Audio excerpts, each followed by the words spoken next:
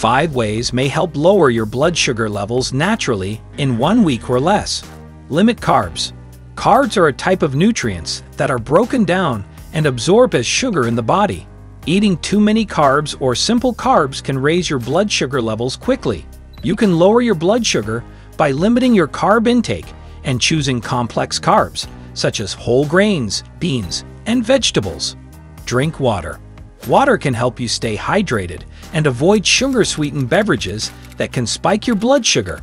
Water can also increase blood volume and stimulate the release of an amino acid that regulates blood sugar. Add fiber to your diet.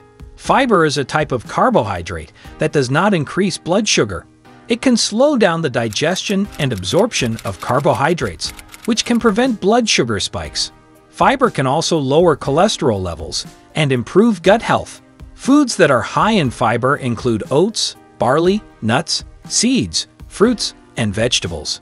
Try probiotics. Probiotics are live microorganisms that can benefit your gut health and immune system. They can also help lower blood sugar levels by improving insulin sensitivity and reducing inflammation. You can get probiotics from fermented foods, such as yogurt, kefir, sauerkraut, and kimchi, or from supplements.